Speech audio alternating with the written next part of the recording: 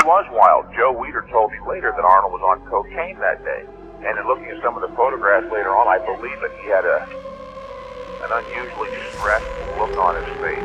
For years, I was walking around in a fool's paradise. I thought everyone was as nice a guy as I was. I thought that evil was something you just read about in novels and newspapers. In fact, evil is something that's around all of us.